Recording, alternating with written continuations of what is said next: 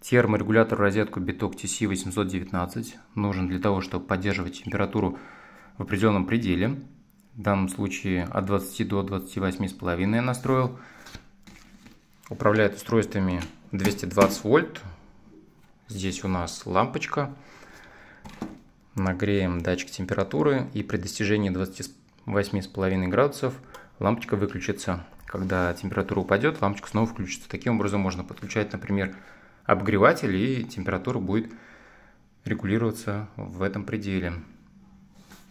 Само устройство с евро-розеткой заземления 3680 Вт максимальной мощности от минус 40 до 120 градусов поддерживает регулирование точность 1 градус беспроводной ой проводной датчик температуры у него водонепроницаемый. Ключевой особенностью именно этой модели является наличие функции обратного отчета.